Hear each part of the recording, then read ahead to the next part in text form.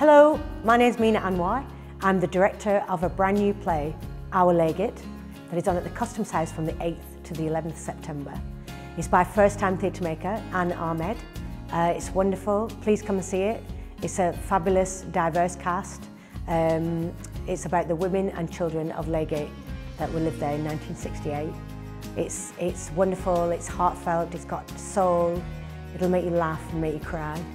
And please, come see it. We'd love to see you.